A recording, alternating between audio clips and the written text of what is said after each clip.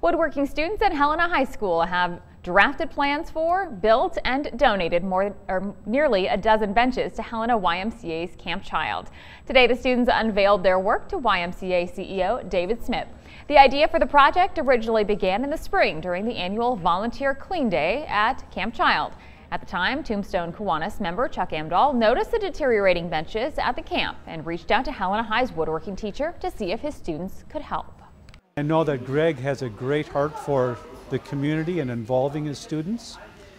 And Greg said, by all means, let's work this together. It's, it's a great option, you know, to, to have them take this class and be able to make stuff with their hands and now to have that be able to be used by a lot of people instead of them just taking home a project and maybe only a couple people seeing it.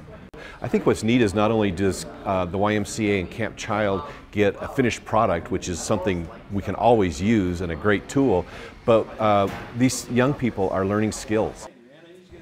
The students put about two weeks into the project with about a week for drawing plans and another week for building. About 40 students were involved. 11 benches are complete and four more will be done soon.